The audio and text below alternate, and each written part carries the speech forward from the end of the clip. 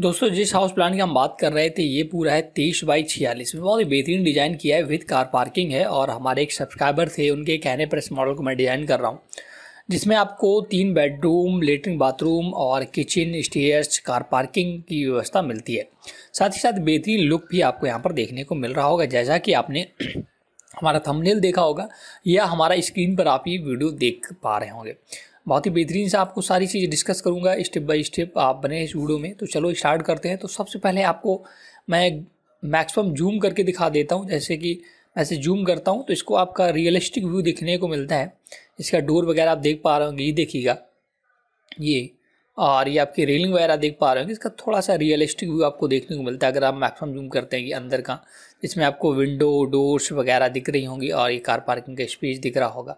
और बाउंड्री की बात करें मेन डोर की बात करें तो मेन डोर आपका देख पा रहे होंगे और ये आपकी प्लर वगैरह है जो आप बहुत ही आसानी से देख पा रहे होंगे। ये फ्रंट की रेलिंग है और इसको मैंने क्लोज नहीं किया है। मैंने पूरा क्लोज नहीं किया तो आप देख देख पा रहे होंगे पूरा मॉडल जैसे मैक्सिमम जूम करता हूँ। फ्रंट की बात करूँ, अगर टॉप की बात करूँ तो चारों तरफ़ रेलिंग आप देख पा रहे होंगे और फ़िलहाल कुछ डिज़ाइन नहीं किया। तो सबसे पहले मैं आपको ले चलूँगा इसके ग्राउंड फ्लोर पर और जैसे ग्राउंड फ्लोर पर ले चलता हूँ तो आप देख लें मैक्सिमम जूम है गेट वगैरह का टेक्सचर वगैरह आप देख लें।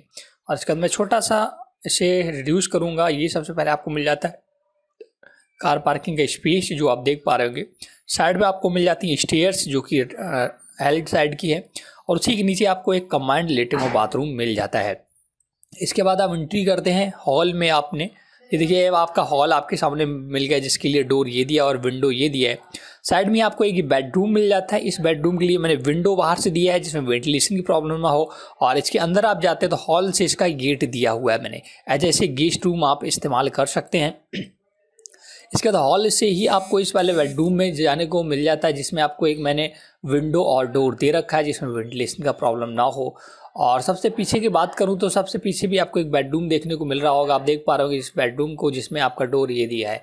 यहाँ से आप इंटर करेंगे और साथ ही साथ आप जैसे यहाँ पर आते हैं तो ये आपका एक किचन दिया हुआ है, जिसमें आपका एक डोर और विंडो दिया है, जिसमें वेंटिलेशन की प्रॉब्लम ना हो। और ये आपका एक पूजा घर है जिसमें आप इसे इस्तेमाल कर सकते हैं। सबसे पीछे दोस्तों, जाल का है ओटीएस के लिए स्पेस आप देख पा रहे होंगे, जो कि आप किचन से होते हुए यहाँ पर जाएँगे।